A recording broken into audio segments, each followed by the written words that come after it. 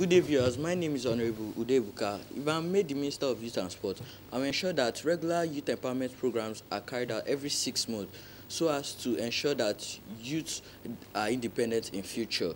To do this, I will have a meeting with the federal government to acquire funds. We all know that the world fastest computer was created by a Nigerian and in Nigeria we have skills and talents but are not yet developed.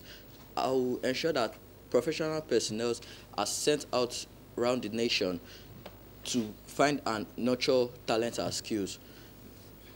Many inventions in the country are yet to be produced due to the fact of insufficient funds.